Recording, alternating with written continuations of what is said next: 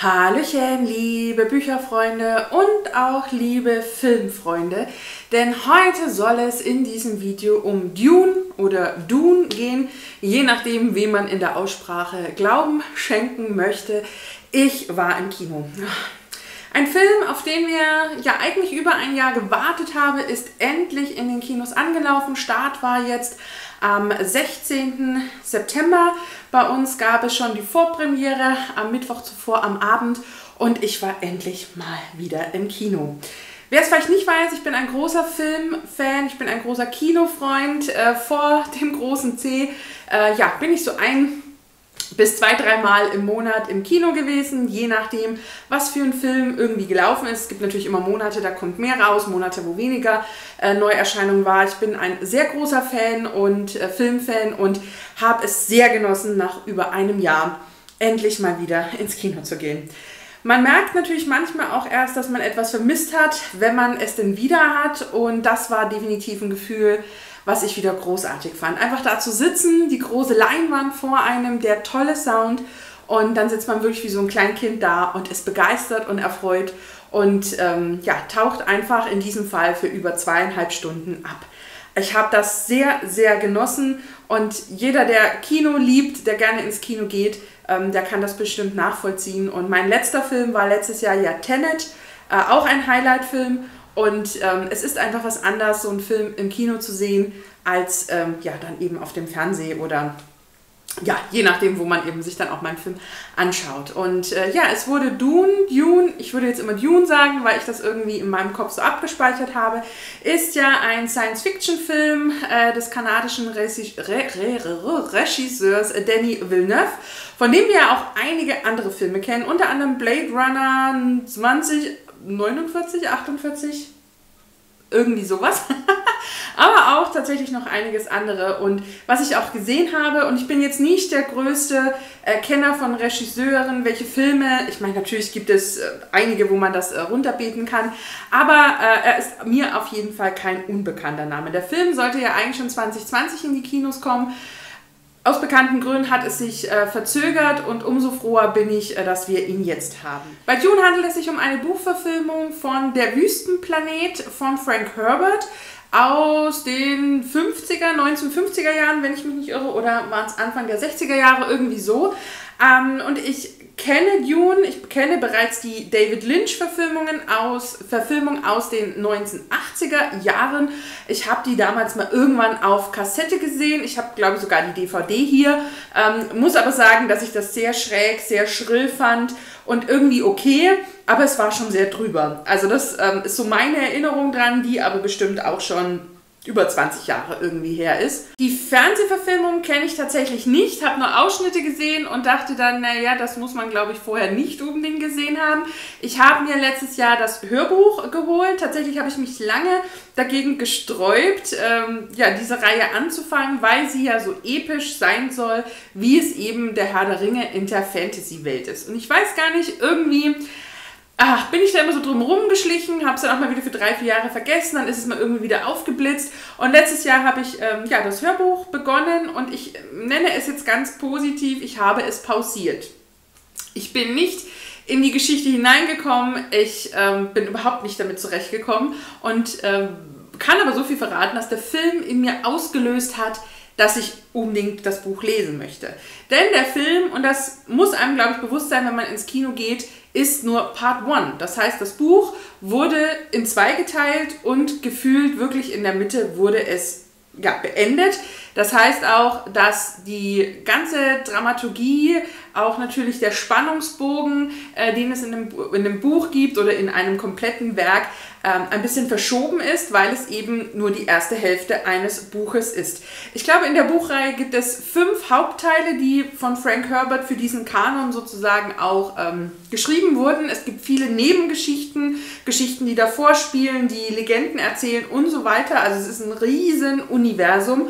Ich glaube, ich möchte mich da auch irgendwann mal noch irgendwie so drauf einlassen. Aber es soll ja eigentlich um den Film gehen. Aber so viel ein bisschen zu meiner Vorgeschichte. Es wird hier eben kein Buch-Film-Vergleich, äh, weil mir da eben einfach äh, das Buch fehlt und ich glaube tatsächlich auch sehr, sehr froh bin.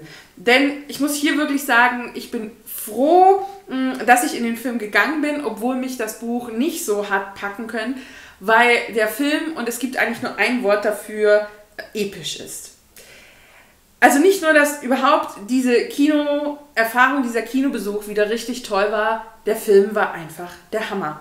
Also es fallen mir nur Superlativen zu diesem Film ein. Von der Story über die Schauspieler, auf die Musik, auf den Schnitt, auf wie das erzählt wurde. Es war einfach fantastisch. Wer jetzt gar nicht weiß, um was es in Dune geht, ähm, wir sind hier in einer fernen, fernen Zukunft. Äh, wie gesagt, es ist ein Science-Fiction-Klassiker.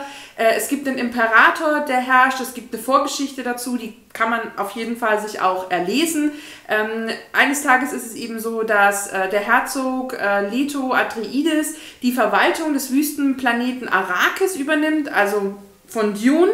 Das ist äh, der einzige Planet in dieser Zukunft, der ja im Grunde die Ressource Spice äh, liefert und das ist die wertvollste Substanz im Universum ja, kommt einem, glaube ich, ganz gut äh, bekannt vor. Äh, diese Substanz wird unter anderem auch Melange äh, genannt, ist eine Droge, die das Leben verlängern kann, übermenschliche Gedankengänge auch im Grunde in, in Gang setzt, aber eben auch die Navigation durch das Universum ermöglicht. Denn so ist eben auch interstellares Reisen möglich und auch viel schneller möglich. Und obwohl äh, hier unser Herzog äh, Lito äh, eben genau weiß, äh, dass diese Gelegenheit ähm, ja eine komplizierte Falle vom Imperator sein wird, die ihm auch von seinen weiteren Feinden gestellt wurde, nimmt er ähm, ja diese Aufgabe an, reist zusammen mit seiner ja, Geliebten, sie sind definitiv nicht verheiratet, ähm, mit seiner geliebten Lady Jessica, die unter anderem auch zu den Bene Gesseriten äh, gehört, was so eine Art Magierinnen Gilde ist, also ich würde sie nicht als Hexen bezeichnen, aber wahrscheinlich so Magierinnen, die eben auch an Vorhersehungen und ähnlichem äh, glauben und eben auch eine gewisse Magie wirken können. Und mit seinem Sohn ähm, und auch Erben Paul diese Reise an und ähm, haben natürlich auch vertrauenswürdige Berater mit dabei, ihren ganzen Stab dabei und sie verlassen ihren Heimatplaneten und äh, landen dann eben auf äh, Arrakis und ähm, dort wird ihnen dann auch so ein bisschen bewusst, dass sie da ja, wahrscheinlich ihre Aufgabe gar nicht so erfüllen können, wie es der Imperator von ihnen erwartet, besonders was ähm, eben diesen Abbau des Beis äh, betrifft. Es gibt riesige Sandwürmer und die muss man einfach total positiv auch erwähnen, äh, die sehr gefährlich sind ähm, auf diesem Planeten.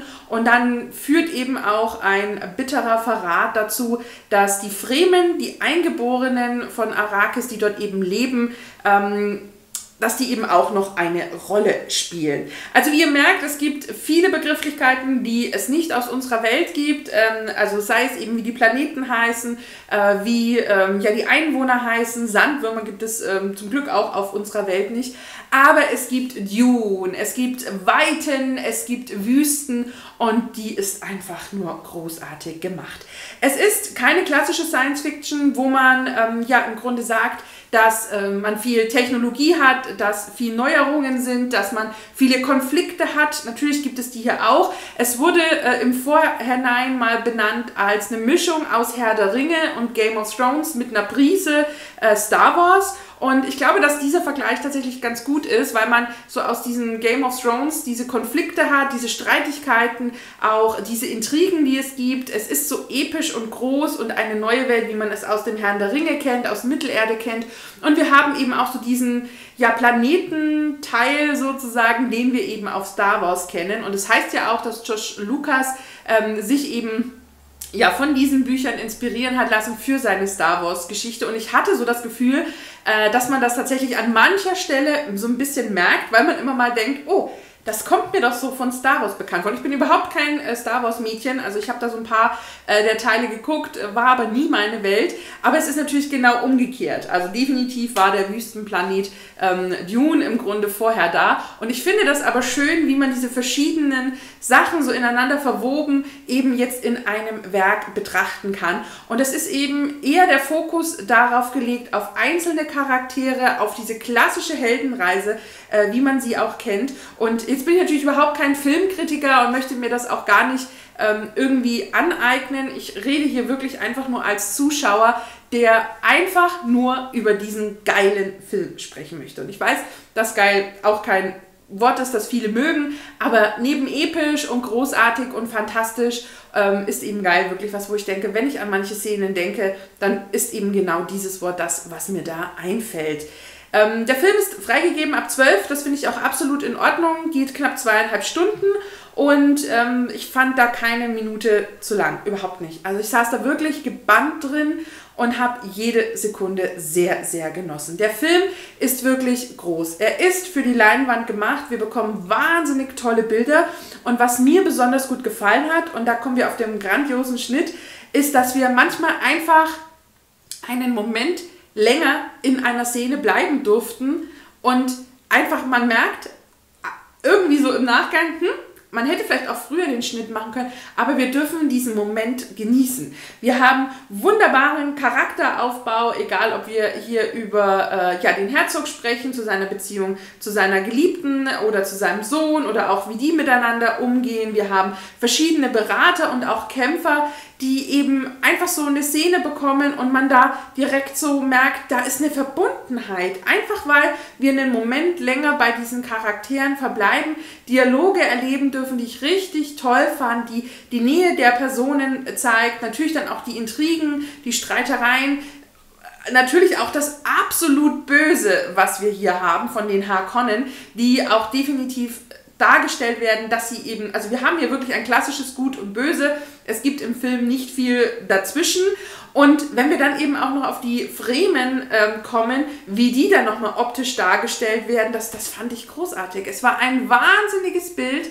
Es war die Wüste wunderbarst gezeigt, die Weiten, wie die Entfernungen sind, wie die Kulturen sind, die Menschen sind, auch wunderbarst unterlegt von der Musik von Hans Zimmer einfach nur bombastisch und es, es hat einfach so perfekt gepasst. Also selten tatsächlich so einen perfekten Film gesehen, der mir die Handlung näher bringt, die Geschichte, wir ein Voice-Over haben, was eben auch so ein bisschen eine Hintergrundgeschichte erzählt, uns auch mal eingeblendet wird, wo wir gerade sind. Ich fand das wirklich super clever gemacht ich fand das so toll, dass wir eben dieses Bild hatten mit dieser Musik, mit diesen Schauspielern, dass wir die Zeit bekommen haben, uns einzufinden, obwohl die Geschichte, die dann eben anfängt fängt von Paul Atreides, wirklich eine Geschichte ist, die, die sehr schnell zu Beginn erzählt wird. Also wie schnell wir den Planeten verlassen, auf Dune landen, uns Dune anschauen und so weiter.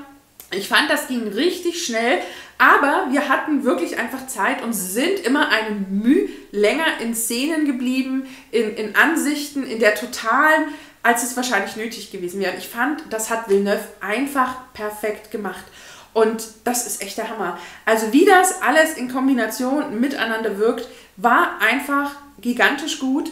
Und ich saß wirklich staunend manchmal in diesem Kino. Und ich glaube, dass ich das letzte Mal tatsächlich so ein Gefühl hatte, als ich im Herrn der Ringe saß, wo mir diese Fantasy-Welt, die ich ja zuvor schon ja zehn, über zehn Jahre geliebt habe, ähm, Herr der Ringe ist ja auch schon 20 Jahre her. Oh mein Gott. Ja, aber es kommt auf jeden Fall hin, dass ich zehn Jahre vorher die Bücher das erste Mal gelesen habe und wie sich mir diese Welt erschlossen hat. Und ich glaube, ich saß hier in June tatsächlich auch so sprachlos und perfekt begeistert davor und dachte mir, wow, was wird mir hier für eine Welt geöffnet? Und natürlich auch im Nachgang, wenn man eine Nacht drüber geschlafen hat, ähm, denkt man sich auch, wenn man an die ersten Folgen von Das Lied von Eis und Feuer von Game of Thrones denkt. Äh, auch da habe ich die Bücher nicht gekannt und bin in die Serie eingestiegen. Und ich möchte diesen Vergleich tatsächlich ziehen, weil auch da saß ich in diesen ersten Folgen. Und wenn man da an die an das Zeigen der, der, der Charaktere denkt, also wie die Charaktere in der ersten Staffel eingeführt wurden und auch diese Zeit sich ja genommen wurden, die ja am Ende irgendwann abgelaufen ist, die Zeit und weggelaufen ist, das war ja in der ersten Staffel noch ganz anders. Und dieses Gefühl des Ankommens, mit dazukommens und eingesogen werden, das hatte ich hier bei Dune definitiv auch. Und das war wirklich gigantisch, episch und toll. Und ich finde, dass der Film ähm, sich hinter diesem Vergleich gar nicht verstecken muss, sondern wirklich selbstbewusst ähm, heraustreten kann und eben sagen, was der Herr der Ringe und auch das Lied von Eis und Feuer für die Fantasy ist, ist Dune für die Science Fiction. Und man, da, man darf hier wirklich nicht eine Science Fiction erwarten wie dass wir in den Weltraum fliegen, dass wir wie Interstellar unterwegs sind oder Inception oder dass wir alles total modern haben wie in der Matrix. Das sind, das ist eine andere Fiktion, äh, die ich aber gigantisch finde, weil sie eben diese Geschichte erzählt und das wirklich auf bombastische Art und Weise und mich wirklich dazu bringt, ähm, es wird jetzt wohl nicht mehr viel fehlen, dann werde ich mir zumindest das E-Book holen und ich einfach nochmal mit dem Buch anfange, wo man jetzt eben einfach vielleicht auch schon Bilder im Kopf hat, und es einfach, glaube ich, vielleicht leichter ist, jetzt in diese Geschichte einzusteigen. Zudem endet ja die, das, der Film, wie gesagt, mittendrin. Und irgendwie möchte ich schon wissen, wie geht es weiter? Und wer weiß, ob es hier einen zweiten Teil gibt. Also es wird zwar jetzt gesagt, ähm, dass man eben äh, mit äh, 2022 mit der Weiterverfilmung äh, starten möchte, aber ich möchte das schon wissen. Ich möchte, und das habe ich sehr, sehr selten in Kinos, ich wollte direkt danach gleich nochmal den Film anschauen. Also ich bin aus dem Film auch wirklich raus und dachte, wahnsinnig geil. Und am nächsten Tag dachte ich eigentlich, du musst ihn dir nochmal ansehen. Äh, es gibt ihn wohl auch in 3D. Ich habe ihn jetzt ganz normal in 2D geguckt. Er ist aber nicht für 3D gefilmt. Das heißt, es wird wohl jetzt auch keinen so großen Vorteil geben, den in 3D zu sehen. Aber ich liebäugle durchaus nochmal äh, mir diesen Kinofilm anzugucken und auch im Kino anzusehen, vor dieser wahnsinnig tollen Leinwand mit diesem tollen, bombastischen Sound. Denn Hans Zimmer, der kann Filmmusik und der kann die wirklich mit am besten. Und das ist einfach auch nur großartig, wie sich hier die Szenen von der Musik auch untermalen lassen bombastisch. Ich möchte auch noch ganz kurz auf den Cast zu sprechen kommen. Nicht weil da sehr, also es sind natürlich große Namen dabei. Äh, zum Beispiel wird äh, ja der Baron Harkonnen von Stellan Skarsgård gespielt. Einfach nur bombastisch gut.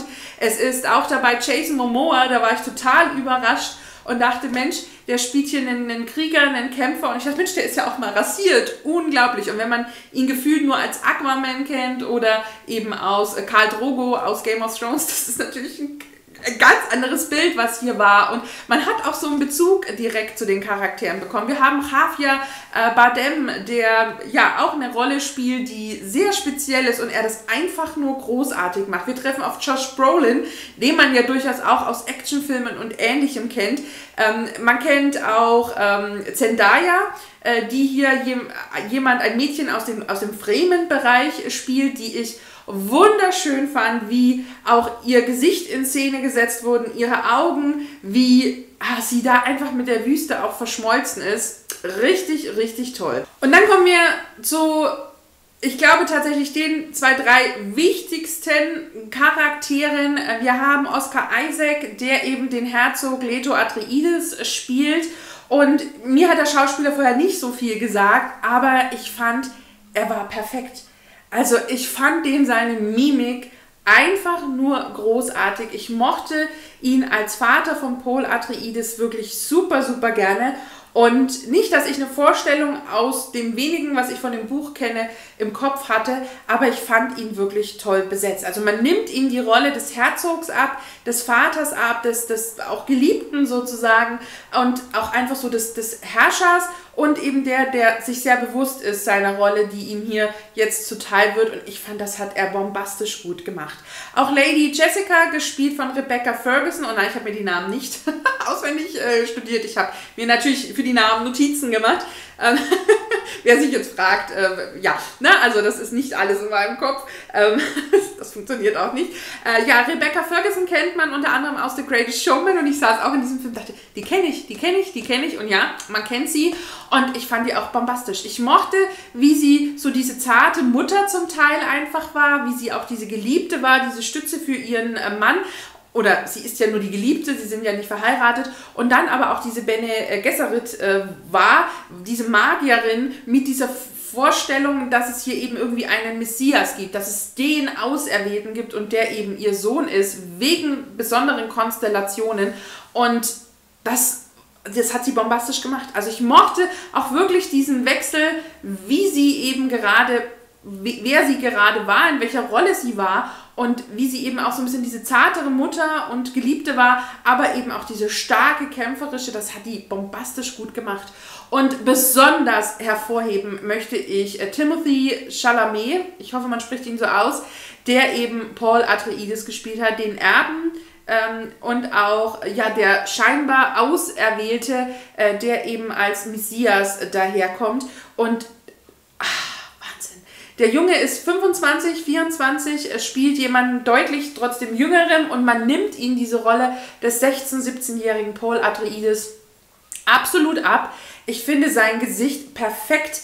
Ich finde wahnsinnig, was für eine Kraft in diesen Augen steckt. Und nicht umsonst hat er, soweit ich weiß, eine Oscar-Nominierung gehabt und gilt als die Zukunft Hollywoods. Und das, das glaube ich tatsächlich auch. Ich war, ich habe auch direkt wieder Gänsehaut. Ich habe da drei, vier Szenen im Kopf, die mich auch so berührt haben und ich so da drin mit dabei war und wirklich dachte, wie geil ist dieser Typ und wie bringt er diese Rolle rüber. Und er hat mich einfach gefesselt und mitgenommen und das könnte man jetzt auch zweideutig auslegen. Es war einfach fantastisch. Also der Cast, wirklich der Wahnsinn und auch wie wunderbar man durch diese Geschichte erzählt hat, wie man Dinge erklärt hat, wie man Bilder gezeigt hat und es war einfach Hammer. Also ich bin wirklich begeistert, es war wirklich episch, es war großartig, es war perfekter Film, es war ein perfektes Kunstwerk und ja, es, also es kitzelt sehr in den Fingern, mir das Buch doch einfach nochmal zu holen in einem anderen Format und einfach zu sagen, ich, ich lese jetzt und vielleicht ist das Lesen einfach hier der bessere Weg als das Hören. Es gibt es ja auch andersrum, warum soll es nicht auch mal so sein? Und ich bin wirklich, also ich war wirklich im Kino. Es gab Momente, da war ich wirklich staunend davor gesessen. Allein wenn die Sandwürmer kommen, an dem wohl ein Jahr gearbeitet wurde, es, ach, es war einfach toll. Es war einfach toll. Und wenn ich irgendwie etwas kritisiere an diesem gigantischen Film, dann ist es, dass er einfach nur zweieinhalb Stunden geht und dass er mittendrin endet. Und vielleicht ihm manchmal mh, mm, die epischen Zitate fehlen, wobei da auch einiges Gutes dabei war.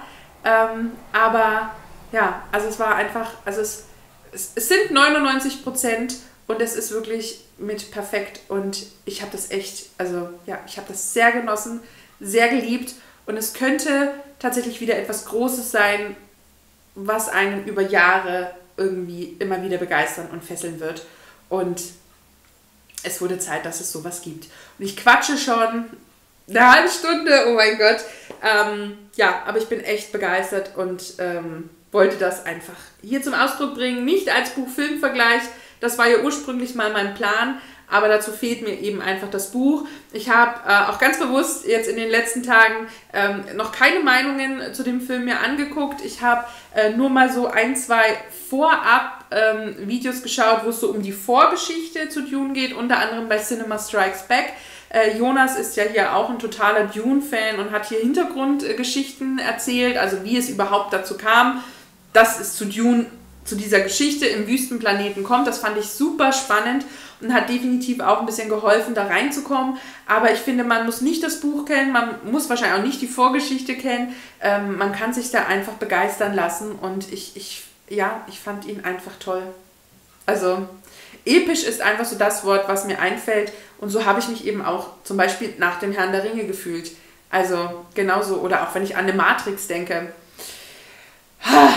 Also das sind so Filme, die einen eben in Erinnerung bleiben und die etwas ganz Großes in, in, einem, in, in, in einem sozusagen machen. Und das hat Dune für mich absolut geschafft. Und ich hätte direkt einfach nochmal drei Stunden äh, den zweiten Teil sozusagen mir im Kino angeguckt und vielleicht so nach einer kurzen Toilettenpause.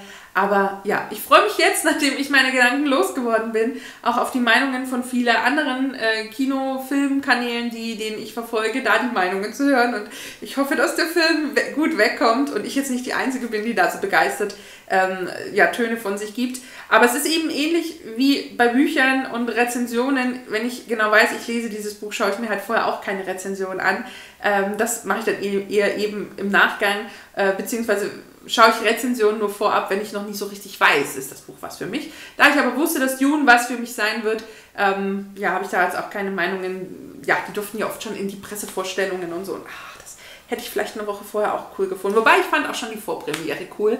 Ähm, und überhaupt, ja. Also ich habe jetzt, glaube ich, genug geschwärmt. Ich bin sehr gespannt, ob ihr das Buch kennt, ob ihr euch den Film anschauen wollt, ob ihr den Film schon gesehen habt. Äh, jetzt, wenn das Video hochgeladen wird, ist, ist ja fast schon eine Woche mehr oder weniger vergangen oder so eine halbe Woche, ob ihr euch den am Startwochenende angeguckt habt. Wie fandet ihr den? Äh, lasst uns möglichst spoilerfrei in den Kommentaren quatschen. Ähm, auch wie ihr die Buchreihe vielleicht findet, weil werden ja bestimmt auch ähm, ja, Leserschaften äh, hier unter den Zuschauern sein und äh, ja, lasst uns da gerne ein bisschen quatschen. Ähm, ich ich würde mich da mega über den Austausch freuen und ähm, ja, einfach ein grandioser Film. Richtig, richtig, richtig toll. So, genug gequatscht. Ich ähm, hoffe, dass euch jetzt auch dieses Filmvideo, wenn es auch kein echter Buch-Filmvergleich war, gefallen hat und ich einfach mal meine Gedanken hier auch loswerden konnte, durfte, wie auch immer. Und äh, danke euch jetzt fürs Zusehen, wünsche euch noch einen schönen Tag, einen schönen Abend und bis zum nächsten Video. Macht's gut. Tschüss, eure Steffi.